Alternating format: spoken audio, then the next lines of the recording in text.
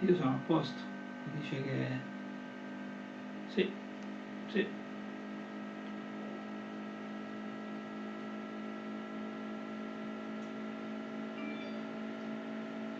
Ciao a tutti, bentornati alla edizione, alla seconda settimana di Convocati a casa, sempre raccomandazioni, sempre massima accortezza alle disposizioni che il decreto ha previsto, che il nostro governo ha previsto per fronteggiare questa esigenza qui, ma eh, sempre pronti anche a coltivare la nostra passione tramite questa tecnologia che la volta scorsa ci ha un pochettino infastidito, ci ha un pochettino creato dei problemi, ma che questa volta speriamo che ci sosterrà fino alla fine.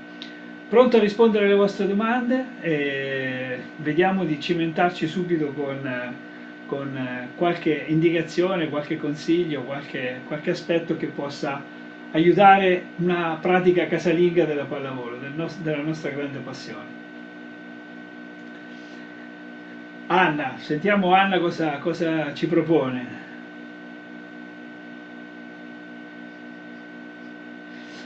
Allora, di fronte alla possibilità di alle, potersi allenare nel proprio giardino, eh, la gamma degli esercizi praticabili sono, sono, sono molti. Diciamo che possiamo utilizzare tutti gli esercizi che prevedono il rimbalzo della palla alla parete, possiamo utilizzare tutti gli esercizi in cui facendo rimbalzare la palla a terra si può fare qualche esercizio di difesa intervenendo sul, sulla, sul ribalzo ovviamente, quindi maggiore distanza dal proprio corpo, dalla propria posizione, minore distanza a seconda di quale tipo di intervento si vuole esercitare e questo ovviamente apre, apre uno scenario di possibili interventi veramente ricco di possibilità.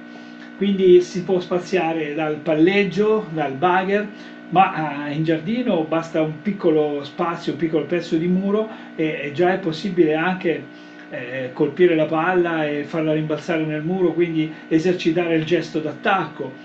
E credo che se, se, lo spazio è sufficiente anche magari tirare un filo per poter fare qualche cosina anche che riguarda l'attacco, tipo autoalzate e attacco, e, um, auto alzata, ultimo passo di rincorsa, salto e colpo sulla palla per direzionare il colpo verso qualche bersaglio che volendo e scatenando un po' la fantasia si può porre dall'altra parte del filo.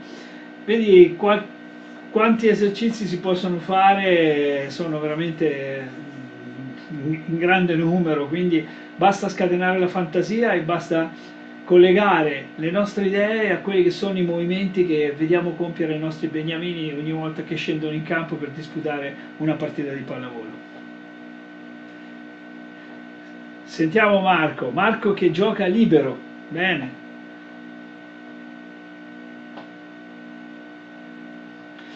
Le, migliorare, suggerimenti per migliorare i riflessi, ma ah, guarda Marco, oh, i riflessi migliorano in proporzione alla capacità di focalizzare dei punti di riferimento in maniera eh, molto, molto precisa. Quindi il riflesso in realtà eh, è un, è un, si può descrivere come un focus attentivo. Io sono attento a quello che succede, sono attento a, a dei punti di riferimento molto precisi e questo mi, dà, mi fa guadagnare tempo di reazione. Noi, noi allenatori nel nostro gergo quello che tu chiami un riflesso lo chiamiamo un tempo di reazione, quindi la capacità del giocatore di reagire rapidamente a, al ribalzo della palla, al colpo dell'avversario e quant'altro. E allora eh, il consiglio che ti do è impara a guardare con molta attenzione eh, i, i riferimenti giusti, ad esempio il movimento del braccio dell'attaccante è un'indicazione molto precisa del fatto che la palla possa arrivare nella tua zona di competenza e sicuramente aspettarsi la palla nella propria zona di competenza migliora quello che tu chiami il riflesso del libero, della difesa. Veder partire la palla al tocco del battitore migliora notevolmente la capacità di spostamento, anzi la precisione di spostamento del ricevitore che affronta una, un servizio avversario, quindi anche del libero ovviamente che è chiamato ad affrontare su, su uno spazio generalmente più ampio il servizio avversario. Quindi interpreta come eh, il discorso del, del, riflesso, quindi della velocità di reazione, interpretala come una maggiore richiesta di attenzione a quei punti di riferimento che ti fanno capire che cosa sta per succedere. Federico che è un allenatore, sentiamo cosa...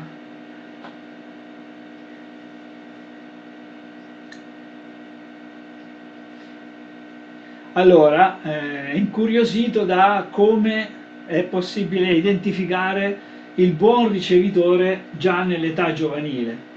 Ma eh, su questo sono tanti anni che ci produciamo sopra del, del materiale e alla fine quel materiale porta con sé l'esperienza di tanti grandi allenatori, quindi è un qualcosa che ho avuto la fortuna di sintetizzare eh, partendo sempre dalle idee che mi arrivavano da grandissimi allenatori che hanno fatto parte della mia, della mia carriera professionale, che ne hanno fatto parte come, come persone che l'hanno aiutata, ma anche come persone con cui ho condiviso anche, anche le partite, diciamo, anche avversari. Ma eh, sostanzialmente eh, per identificare un buon ricevitore eh, il presupposto è che ci sia un buon atteggiamento per quanto riguarda il bugger. Molto spesso parliamo di sensibilità del piano di rimbalzo, e sensibilità nella dinamica e nell'atteggiamento degli arti inferiori. Gli arti inferiori devono essere capaci di posizionarti in modo molto preciso rispetto alla traiettoria della palla, perciò è una coordinazione tra i movimenti della palla e i movimenti de dei piedi. I, sempre gli arti inferiori devono essere capaci di tenerti sempre in costante equilibrio, quindi non creare degli squilibri, perciò è necessario che le caviglie abbiano una grande mobilità e la capacità di chiudere molto l'articolazione della caviglia è un altro indice, indice estremamente importante.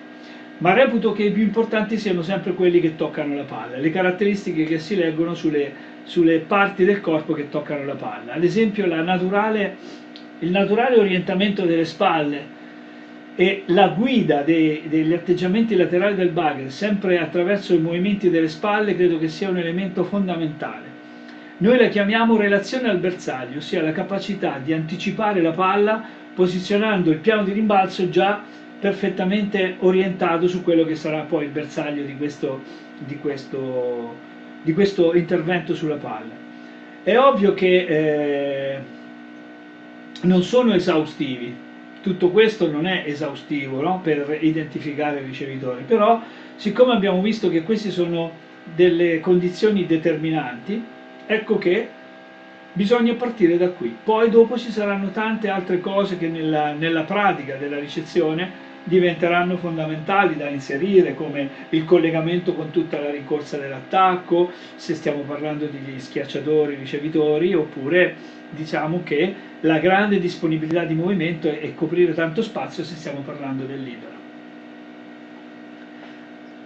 Giulia,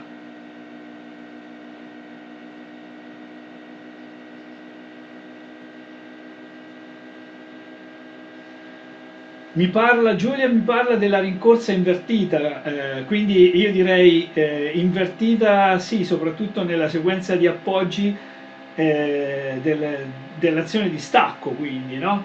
Perciò per intenderci la sequenza destro-sinistro per l'attaccante destrimane è quella corretta, la sequenza invertita è sinistro-destro sempre per l'attaccante destrimane che è un'azione invertita.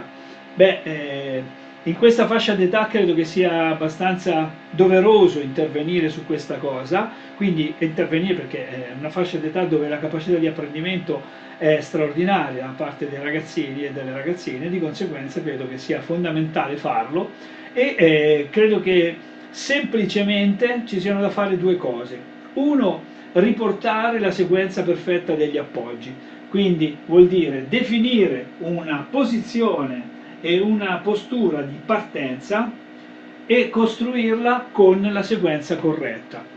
Questo però non è sufficiente perché molto spesso alla, alla fonte di questo tipo di errore c'è una carenza coordinativa, quindi poi potrebbero venire a mancare le spinte, quindi è necessario magari intervenire con una collocazione a terra di punti di riferimento con dei piccoli pezzi di nastro adesivo oppure con dei tappetini da, da saltare, da oltrepassare appunto, ecco, dei riferimenti per guidare la sequenza, quindi guidarla e costruirla con grande attenzione. È ovvio che la giovane cambia la struttura del movimento, quindi deve percepire questo nuovo movimento, deve percepire questo adattamento e quindi ha bisogno di tanta ripetizione analitica, quindi decontestualizzata dal gioco.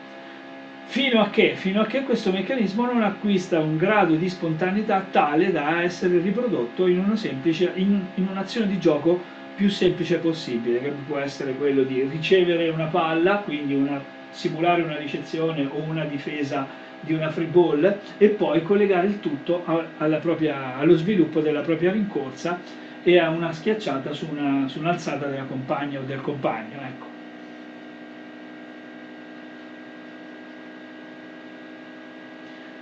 Mario, Mario, attento al bugger, ok, ci chiede mh, qualcosa per svilupparne la precisione, ma la precisione eh, nasce da un movimento intanto attivo verso la palla, quindi siamo noi che andiamo alla palla e non aspettiamo che la palla viene a noi. Io dico sempre alle ragazze, colpisci tu la palla, non farti colpire dalla palla. Questo è il primo presupposto. La seconda cosa è che l'azione del corpo sia orientata sul bersaglio, quindi sulla zona verso dove devo indirizzare la palla. L'ultimo step della precisione lo costruisce il sistema percettivo, quindi l'eseguire il colpo accompagnando insieme allo sguardo la palla sul bersaglio. Queste sono le tre condizioni fondamentali per sviluppare e costruire la precisione. Poi l'esercizio fa il resto, anche perché di solito tutto quello che viene fatto attraverso il bugger nel, nel gioco della pallavolo prevede delle traiettorie abbastanza alte, quindi la relazione col bersaglio di quello che facciamo non è una precisione diretta, è la precisione molto più simile, non è la precisione del, del tiro, del calciatore o del giocatore di pallamano o, o, delle fraccette, ma è del tiro a canestro, quindi una palla che sviluppa una parabola e che scende con precisione nel punto di riferimento. Quindi ci vuole poi la pratica perché questo elemento poi vada a coincidere con, con l'obiettivo. Però i tre presupposti fondamentali sono quelli che abbiamo detto.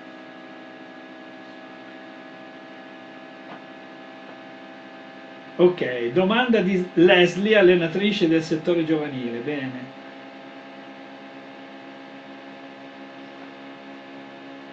Esatto, allora parlava del, del bugger di difesa e in, di un dettaglio particolare che abbiamo parlato la volta scorsa, cioè quello di controllare la velocità della palla attraverso un'azione che spezza diciamo, il piano di rimbalzo all'articolazione del gomito. Ecco, questa situazione qui ovviamente l'efficacia di questo adattamento è un'efficacia che si perde man mano che aumenta la velocità della palla.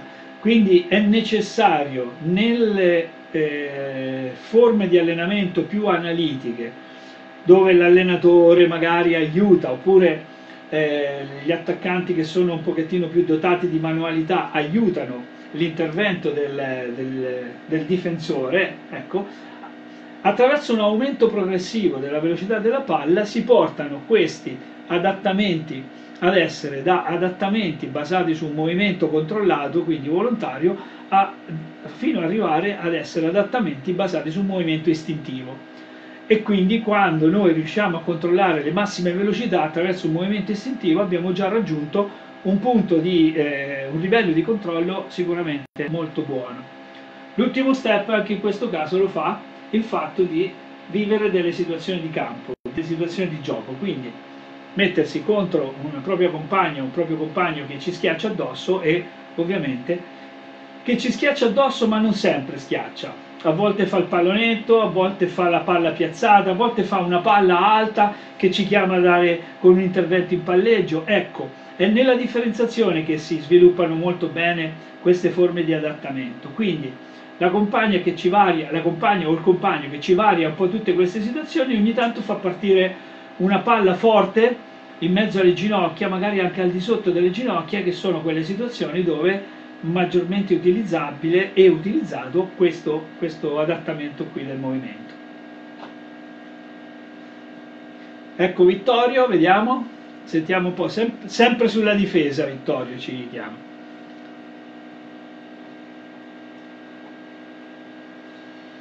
Allora, eh, la domanda di Vittorio eh, sulla difesa eh, è questa, quando è meglio raddoppiare la diagonale o il lungolinea nell'organizzazione della difesa? Io immagino che Vittorio faccia riferimento ai movimenti del giocatore di posto 6, che ovviamente si sposta contro il 4, contro il 2, si sposta o leggermente o più sulla, eh, verso il lungolinea o più verso la diagonale. Ma di solito eh, da questo punto di vista sono un po' i, le caratteristiche dell'attaccante avversario che ci spingono in questa direzione. Oppure un altro aspetto è legato a un punto debole sul nostro sistema di muro.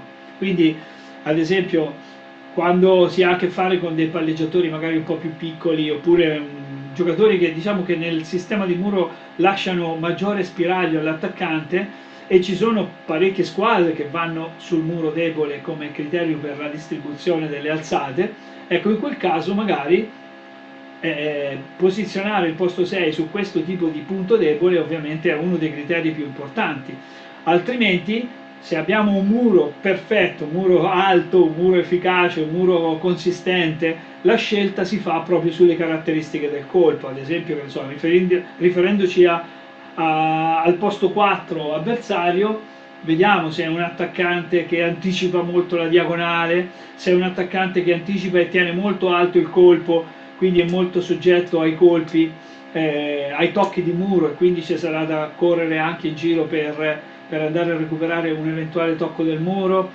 eh, oppure se è un attaccante che ama fare il money out sul, sul giocatore esterno, quindi money out alto sul giocatore esterno, ecco questi sono criteri che suggeriscono i primi un'idea di posto 6 più mh, verso la diagonale e, e l'ultimo esempio è più verso il lungolinea.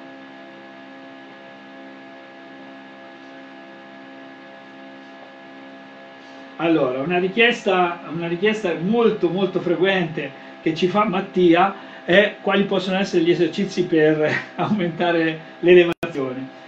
Intanto Mattia credo che eh, l'elevazione, la capacità di saltare sia qualcosa che dipenda molto da alcune cose. Allora, intanto il patrimonio genetico che ti hanno fornito i tuoi genitori. In secondo luogo, eh, quanto hai giocato e utilizzato il rimbalzare sul piede, il, eh, i salti a scendere, a cadere dall'alto verso il basso nella tua infanzia sono elementi fondamentali perché conferiscono una capacità di reattività neuromuscolare al sistema motorio che, è qualcosa di un patrimonio fantastico.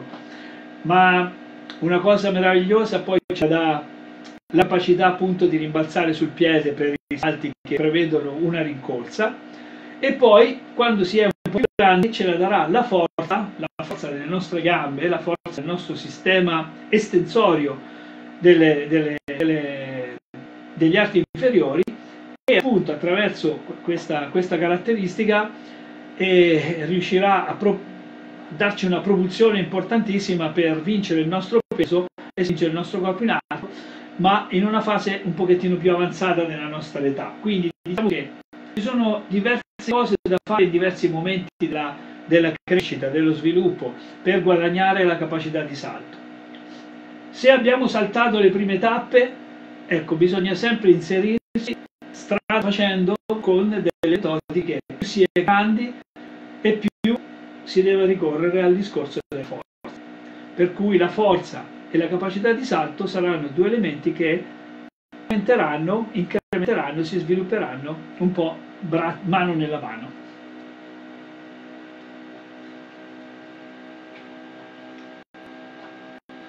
Allora, invece Arianna mi fa ritornare a analizzare, parlare un po' dell'attacco perché eh, qualche esercizio utile per stendere bene il braccio nel momento diciamo, di impatto con la palla del colpo d'attacco. Beh, allora, intanto, intanto mh, l'abitudine a colpire la palla a diverse altezze, gomito basso, intermedio, steso.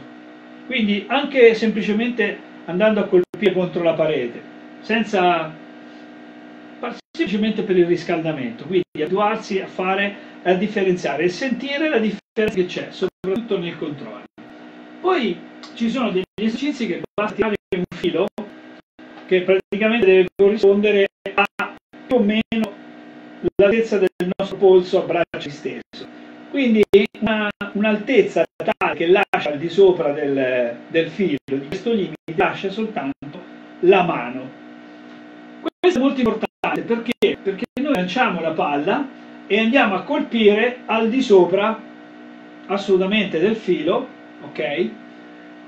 Il filo, magari un elastico, è ancora meglio, perché? perché una volta che io ho colpito al di sopra del filo posso completare il movimento, agganciare l'elastico, portarlo giù senza correre il rischio di farsi male.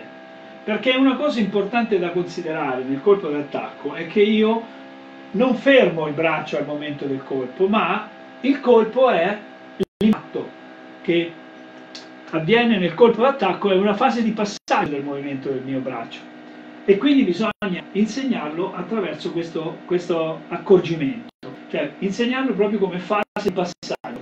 Questo è anche questo movimento di inversione delle spalle. Quindi tutta questa sequenza, con questo riferimento, lancio della palla al di sopra del filo e andare a colpire la palla sopra il filo ci impone inevitabilmente sia la distensione del braccio sia soprattutto l'innalzamento della spalla corrispondente perché questo è un altro elemento molto importante per raggiungere la massima altezza del nostro colpo.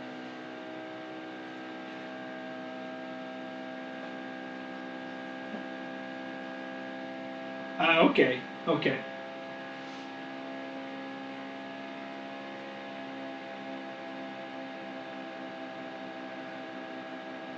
Eh, abbiamo una richiesta veramente particolare. La metodologia per rimanere sospesi in aria durante, durante la schiacciata. Mi dispiace Giancarlo, ma a questa domanda non ti posso che rispondere con la fisica e l'universo fisico in cui viviamo non lo consente di rimanere in aria nel corso di una schiacciata. Quindi è puramente un effetto ottico quello a cui tu fai riferimento, ma è un qualcosa che non esiste. Non c'è un punto in cui noi abbiamo la capacità di fermare il corpo di, neanche per un istante, oppure se c'è un istante è un istante veramente impercettibile, perché la nostra fase di volo è disegnata da una parabola che identifica un apice e poi c'è una fase discendente immediatamente collegata. Quello che tu vedi,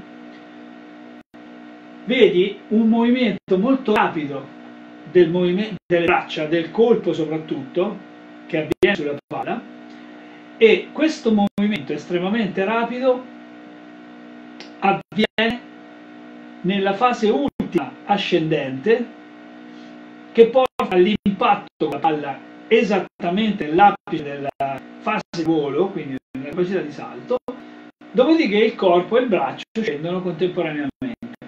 Quindi è un effetto ottico quello che, che descrivi tu e quindi non farti trarre in inganno da questo aspetto qui, perché in realtà nessun atleta ha la capacità di fermarsi in volo e di rimanere in volo.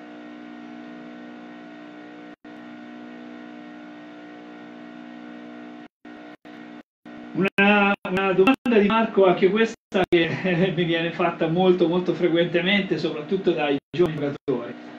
Marco mi chiede quanto si può imparare guardando i grandi campioni giocare in televisione. Allora, Marco, è molto importante guardare i grandi campioni, è molto importante guardare i dettagli del loro movimento, sia come si preparano agli interventi, sia come gestiscono il tocco della palla, sia come collegano subito dopo aver effettuato il tocco della palla il loro eh, movimento all'azione successiva. Sono tutti elementi che fanno la motricità del grande campione e soprattutto sono tutti elementi che hanno fatto diventare grandi campioni quelli che vediamo all'opera. Quindi è molto importante, però fai attenzione, perché vedere come riceve il grande campione, come colpisce la palla con il movimento del braccio, sono elementi che posso, come palleggia il grande palleggiatore, come tratta la palla con le mani, sono elementi che ti possono aiutare fin da subito, puoi guardarli fin dal primo momento e trovi subito delle indicazioni che tu puoi andare tranquillamente in palestra, nel giardino, nel muro della tua camera, dove, dove, in qualsiasi momento, quindi anche in questo periodo, e provare a riprodurre quel movimento così come lo hai interpretato. Ma ci sono movimenti che invece sono molto più difficili da, sono facili da riprodurre magari, ma sono più difficili da riprodurre poi nel gioco perché dipendono molto da quello che il giocatore avversario, da, quello che il grande campione vede nel movimento dell'avversario. Penso a un movimento di muro. I grandi campioni fanno delle azioni di muro un po' diverse da come fa il giovane giocatore, sia perché ad alto livello si gioca a una velocità nettamente superiore, sia soprattutto perché, perché loro hanno molta più esperienza nel riconoscere la situazione e quindi hanno molta più velocità, molta più reattività. La stessa cosa succede in difesa. Quindi i movimenti questi fondamentali vanno visti ancora più in dettaglio, sono piccole cose che tu puoi cogliere fin da subito, quindi alla fine concludiamo che è molto importante guardare, ok? Ma anche nel guardare i grandi giocatori lasciarsi guidare da quello che può consigliare l'allenatore. domanda di Massimo che allena un under 12 per correggere la posizione delle mani in palleggio. Allora Massimo, la posizione delle mani deve rispettare innanzitutto una caratteristica, deve toccare una ampia superficie della palla. Quindi le mani così non possono toccare tanta superficie di palla.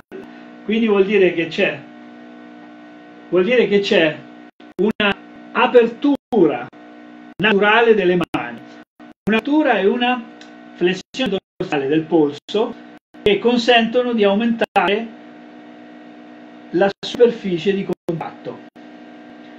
Poi abbiamo, diciamo, l'azione del polso che determina l'accelerazione della palla e l'azione di pollice e indice che nella loro reciproca ed equilibrata dominanza determinano l'inclinazione di uscita del palletto, quindi determinano tutti gli adattamenti di cui un buon palleggiatore si serve per costruire le corrette eh, traiettorie di alzata.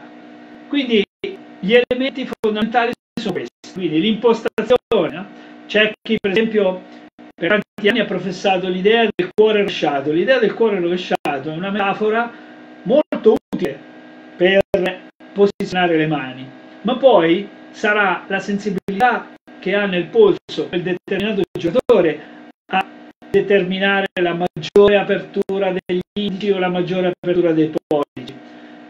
Rispetto alla posizione del, cuore rovesciato, no? della metafora del cuore rovesciato, ad esempio io ho una posizione naturale delle mani che vedete, allontana un po' gli indici e io leggo così quindi la condizione migliore di sensibilità ce l'ho in questa posizione qui in questa posizione qui quindi non, non posso andare a forzare perché se vado a forzare questa situazione poi la, l'atteggiamento delle spalle dei gomiti diventa forzato diventa rigido e questo incide sulla sensibilità con cui io seguo il palleggio. Quindi attenzione a questi accorgimenti. Vediamo altre domande se vediamo un po' una domanda, sì?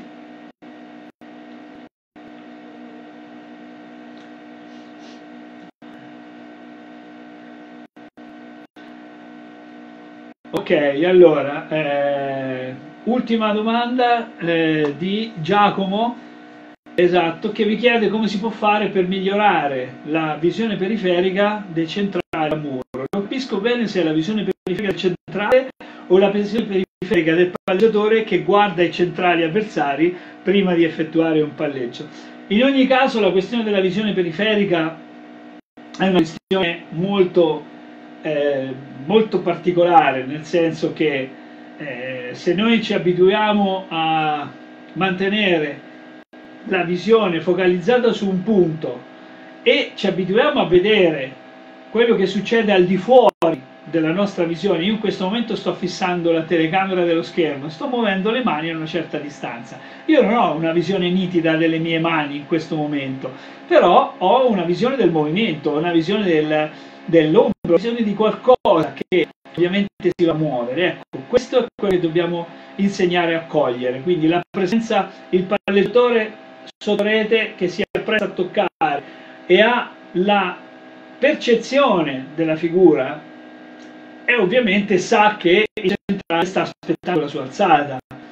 Il palleggiatore, il posizionato che eh, eh, vede il centrale muoversi verso migliora la visione del centrale, vuol dire che il centrale sta andando, quindi sta andando verso, verso amurare il suo posto 4, il, il mio compagno di posto 4, oppure il centrale che sparisce completamente dalla mia visuale, probabilmente è andato a murare mio posto 2. Quindi sono tutte situazioni che ovviamente si, si, si sintetizzano un pochettino in l'abitudine a farlo. Quindi la visione periferica non richiede un allenamento particolare, la visione richiede un allenamento particolare, ma la visione periferica scaturisce dal fatto di essere capaci di focalizzare un punto di riferimento e cogliere tutti gli aspetti che ne fanno da eh, contorno a questo punto di riferimento qui.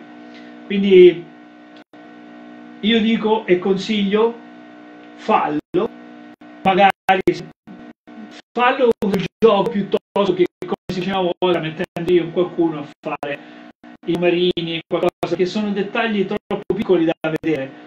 E allora eh, questi dettagli richiedono più che altro che il giocatore si giri a guardare quella cosa, no? distogliendosi un attimo dal palleggio, magari l'alzatore esperto riesce a fare meglio, ma l'alzatore giovane magari perde il controllo poi del e quindi, e quindi è inutile. No? Ecco, allora il consiglio è che magari facciamolo con quello che effettivamente succede in gioco, quindi vedendo l'atteggiamento eh, del giocatore, quindi cogliendo la presenza del giocatore più che vedendo cose così di dettaglio come può essere la mano alzata, il numerino, qualcosa molto, di molto preciso.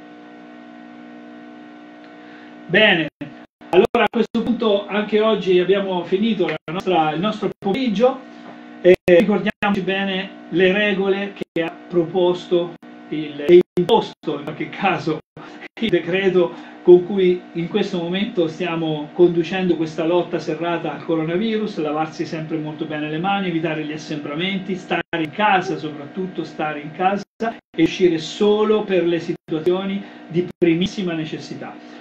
Sono, queste sono regole fondamentali, hanno aiutato il popolo cinese a venire fuori dalla situazione eh, veramente che poteva diventare veramente drammatica e devono sicuramente contribuire a aiutare noi a uscire da questa situazione, come del resto contribuiranno al successo in questa lotta al coronavirus a tutto il resto d'Europa e del mondo che in questo momento sembra che sia nel pieno della del, divulgazione del contagio. Quindi mi raccomando questa cosa qua, coltiveremo ancora insieme la nostra passione con questi appuntamenti e ciao a tutti.